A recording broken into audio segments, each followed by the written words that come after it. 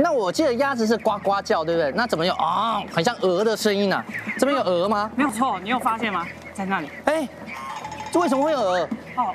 鹅的话，我们养养鹅的目的是因为我们这边是做有机田，对，啊，有机田没有用农药，哦，然后也没有用任何化肥，所以我们田间会有很多很多的不一样的生态，对，啊，包含一些蛇，哦，啊，那蛇的话，它会它在小鸭小的时候，其实是一个会攻击它，对，有可能会攻击，哦，所以才会养一只鹅，它保护它们，对不对？哎，那你知道它们怎么保护的？怎么保护？鹅它它会大便，它会大便。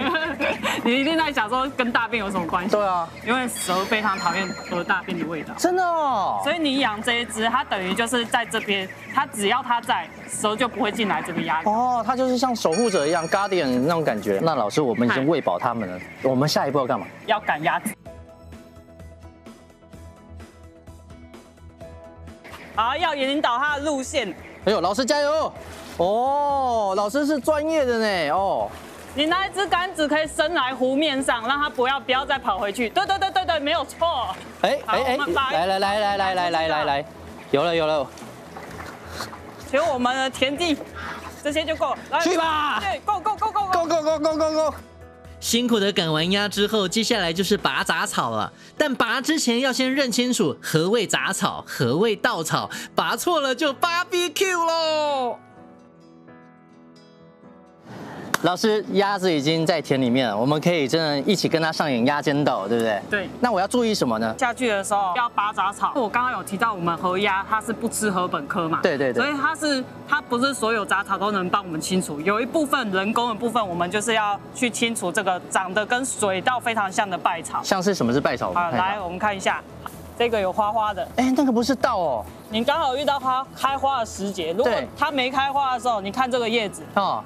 你根本分不出来，哎，真的分不出来。这个败草的话，你看这样子，啊，它是这样一整只哦。对。然后你看它这个节的部分，对。啊，它是单纯的叶子。对。水稻的话，它会多出一个尖尖的三角形的那个。对，这个每一节都有。啊。所以你等下要拔的时候，拔之前检查一下，你这叶啊加五节三角形。嗯。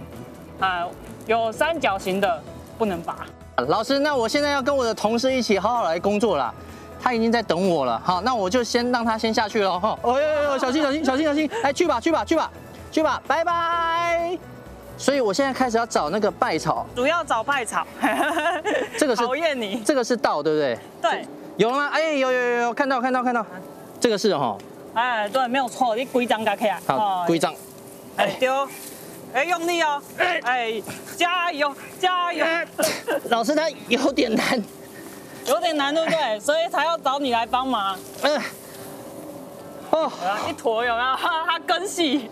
哇，其其实真的有点难呢。哇，我费了好大劲。那这个这个的话，我们会这样，有没有？把它折一折，通常就会直接丢到岸边去。好好，哎。